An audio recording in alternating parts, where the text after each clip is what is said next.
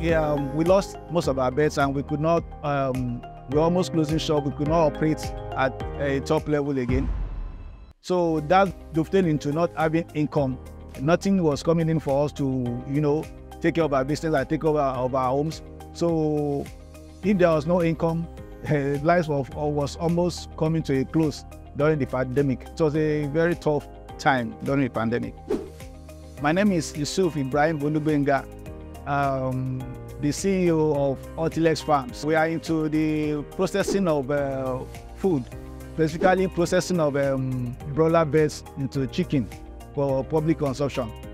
When we found out that our business was selected to receive the Lagos CARES Grant, um, we were very happy because we felt um, uh, at last um, a kind of uh, divine help has come for the business, and uh, we felt um, it was going to, you know, boost our business and take us back on board. So I felt very, very happy that uh, the business was selected for the grant. I heard about Lagos CARES Grants uh, from a friend. You know, people come around with such things, and most of us I didn't believe them because we felt, you know, it's one of those scams, but at least um, that's how I felt about it. And uh, I was not too um, keen into it at that time. The application process was um, quite um, easy because um, it was online and uh, within um, some minutes after submission of your um, application, there was a feedback immediately from the uh, LSETF. I was convinced um, to apply at the time because at that time, I mean, during the pandemic, we were looking around for any form of assistance and uh, we felt okay. And I was uh, convinced by my friend that to try it and see if our, our luck will shine on that. So that's why we came to it. We received operations grant. I think uh, it was very easy.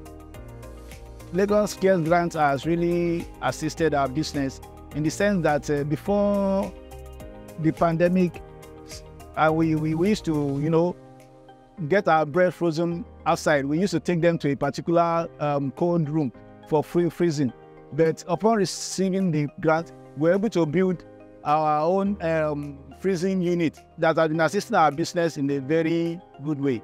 Since we received the Lagos Cares grant, we don't only um, freeze our own beds from here, we also assist other farmers that we are within our range to you know freeze their own beds too, and that's an extra income to our business.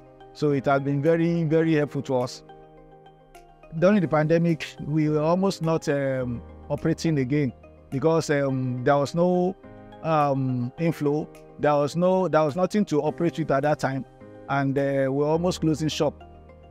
You know, a man that uh, could not provide for the family at that time is almost like no man. So emotionally, we were downcasted and uh, we were almost not being able to do anything.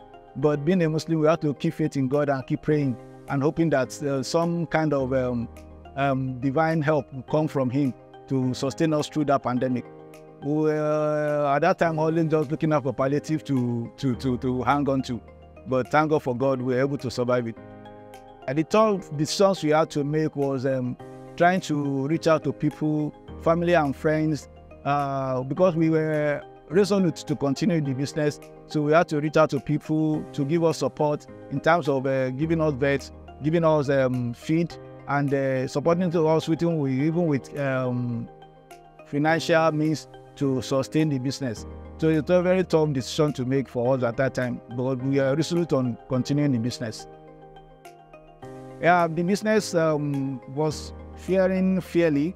At least we were, it was some um, years into our starting time, and uh, we were able to, you know, to um, buy our beds and uh, um, develop them, um, getting them ready for production. So we are, we are, we are, we are operating fairly before the pandemic. Thank God for the grants that we were able to receive. At least from then on and in this period and for the, into, the future, we can say that um, we can operate um, confidently. And uh, once we process our beds within this same place, we grow them, we nurture them to maturity, and we process them here without taking them out of this place to process. So it has been a very helpful way to keep our business compact. If I have to sum up the Lagos CARES grant in one sentence, I would say that uh, the grant has been um, very, very helpful to our business. To the World Bank, we say a very big thank you for this wonderful project. To um, the Lagos State Governor, uh, Mr. Babajide Sanwo-Olu, we say a very big thank you to you too. And uh, to the LSETF team, we say thank you, thank you, thank you once again.